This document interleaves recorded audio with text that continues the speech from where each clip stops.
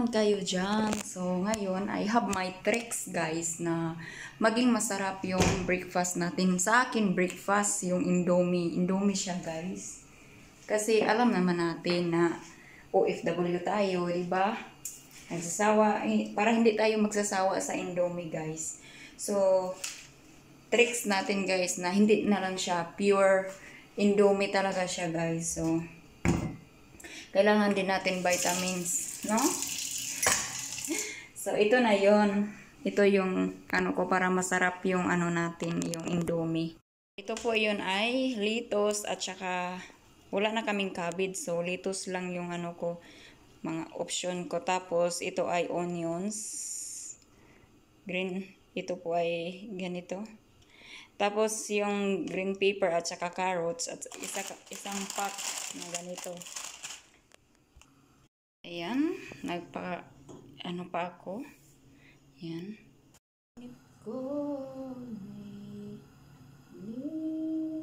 Oil yang, oil. At yan.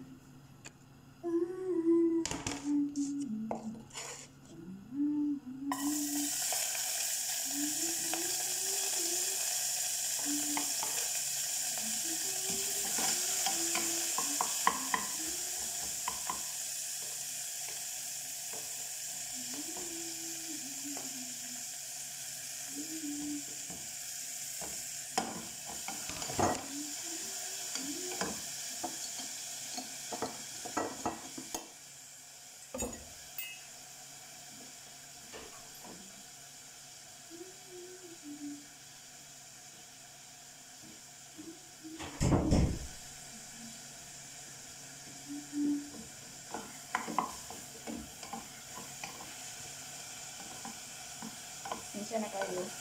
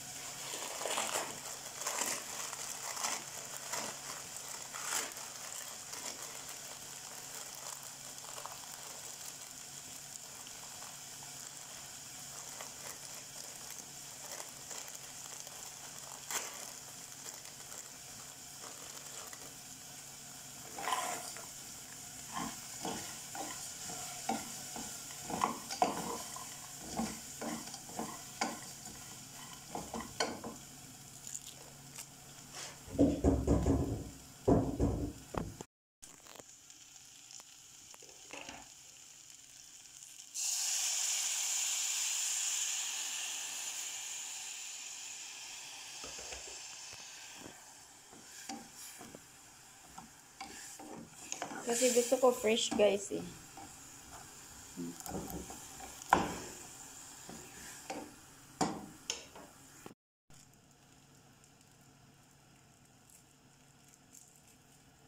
Ito yung ingredients.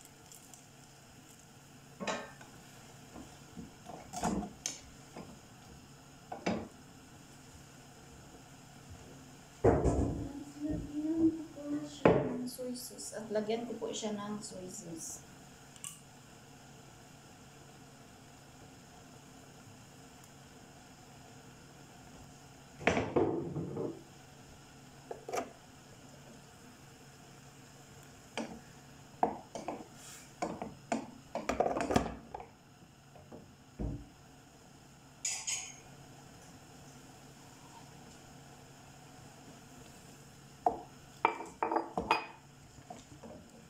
Yung gas.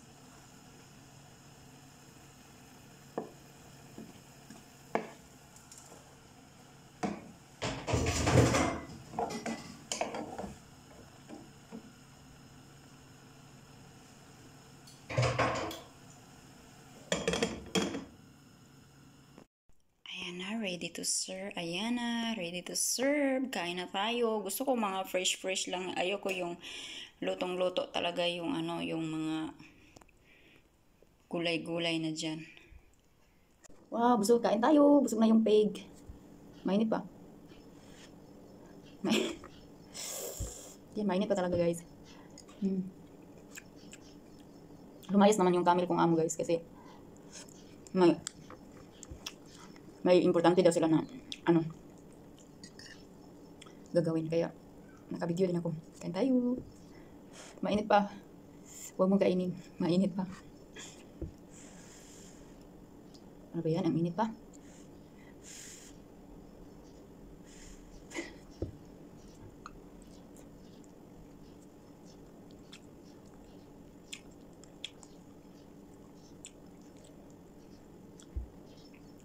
ganito talaga yung buhay namin guys no? Kain indomie. Pero parang nasanay na din tayo dito guys kasi pag sa Pilipinas kaya kailangan pa natin yung yung kailangan talaga natin yung bigas talaga no? Yung sa once a day kakain tayo ng 3 times na bigas di ba yung ka- kanin? Magsaing talaga tayo ng bigas. Parang hindi parang hindi tayo kumpleto yung day natin pag hindi tayo makakain ng kanin di ba? Yung importante. Pero dito talaga masanay talaga yung tiyan mo na ah, kakain ka talaga ng ah, tinapay at saka ano lang yung yung kape, di ba? Siguro sa atin naman sa Pilipinas yung mga ano, yung office nagtatrabaho pero yung halimbawa yung sa nagtatrabaho yung sa mga yung sa yung farm, yung ganun. So kailangan talaga na ano, parang hindi kompleto. So dito naman eh, minsan din na kahit hindi ka makakain once a day sa kanin, parang okay na din, kompleto na din yung day. Parang iba yung yung ano mo dito pagpunta yung tiyan mo. Tiyan ba yun? Ang init pa eh.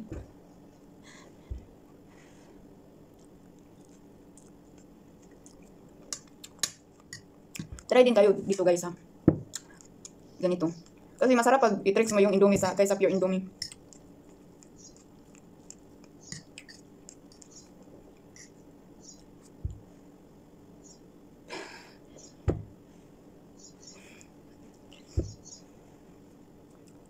Init gud oy.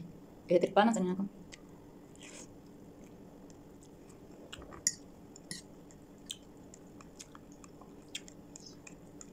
Tapos, um, kung mag, ano kayo, magluto yung ganito yun guys, yung, yung hindi niyo, i, if, i, half cook lang ninyo yung gulay na i-ano ninyo, i, ihalo sa indomie. Masarap pag half cook lang. Kasi mamanam naman mo yung tamis, yung sarap.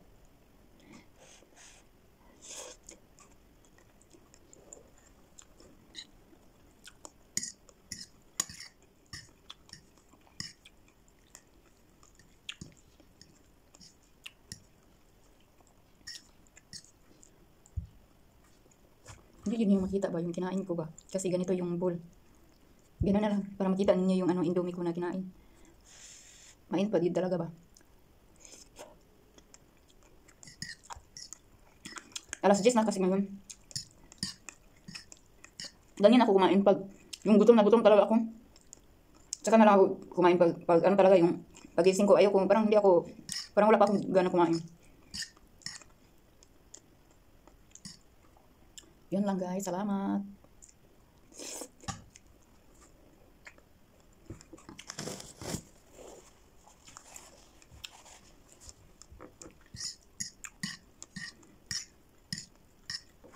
Ginanon ko para makita ninyo. Ang init pa ako eh. Di ba ko?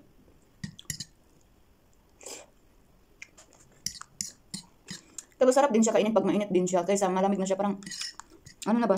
Parang nauuman. Pagkainin mo, pag malamig na. Mas masarap pag ganito pag, pag mainit pa. I enjoy blow, blow, blow, blow up, blow up. Blow up, blow up, blow up.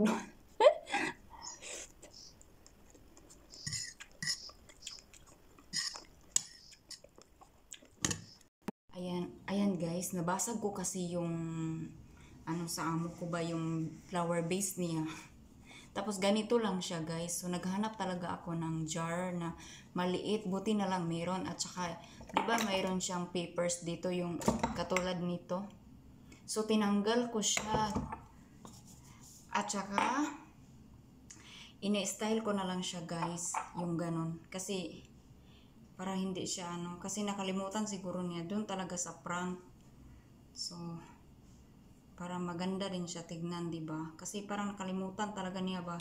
Pero nabasag ko last day. Kaya ngayon after ko na ano sa video ko yung nagluto ako ng indomie breakfast ko ayan inaano ko yan para decoration siya ba yung style. Tapos, may nakita ako ng kandol. Kasi ang yung flower, yung plastic na bulaklak, tinago ko para hindi niya makita yun. Kasi madali lang talaga yan mag- magalit si madam eh. So, ayan. Inanon ko lang siya guys. Para, uy, iba naman yun to. Nabasag ko kasi yun. So, buti na lang, mayroong sa alaga ko, mayroon siyang ganito. So, so hanapin naman niya, hanapin naman, sana, sana ba't yun? Sana. Okay lang. Parang, tapos maalala niya, parang hindi to ganito. At least, ni-revise ko, di ba? Yan. Ayan na, guys. Nakalimutan ko talaga to na dapat ko ayusin yung ano last day. Parang hindi pa siya ano, na, parang hindi pa siya galit. Nabasag ko kasi buisik.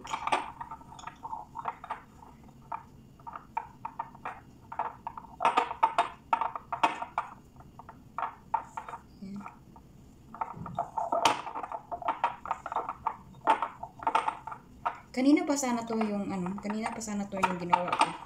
Di kaso nag, nag, nag-vlog-vlog pa ako eh. Naggawa pa ako ng ano, nag-almusal pa ako yun. Ayan na. So mamaya lang. At saka mayroong kandol, di ba? Mayroong kandol. So, lagyan ko siya dito. Magputol-putol lang ako nito. Ayan, magkuha lang ako ng kandol dito. Kasi nabasag ko talaga guys. Ay, magagalit naman yun. Painitin ko lang to dahil sa ano, para pumikit yung bulaklak na kunin ko pa yun. Ayan. Idea ko na lang to. Kasi iwan ko kung inaano yun. Kasi binili niya yun. eh. Ayan. So, kasi pag hindi ko siya i ano, ayan. Kalimutan niya yun. Maliit din yun. Buti na lang may, mayroong ano. So, painitin ko na lang yung kandol dito para pumikit yung siya. Para ganito. Parang kasi yung nabasag ko, ano siya eh, stand siya na, stand siya. So, ganun. So, dito na lang sa, ayan, okay na. So, di na mag-wonder yung amo ko dyan. Oh, ayan, ganunin lang natin. Natin, natin, natin. Ayan. So, ayan. Ito na lang. Okay na yan. Be, pagdating ng amo ko. Uh, yan. Dapat talaga kasi mag-ingat. Kasi para di mabasag. Ayan tuloy. Ayan. Ganun lang yan.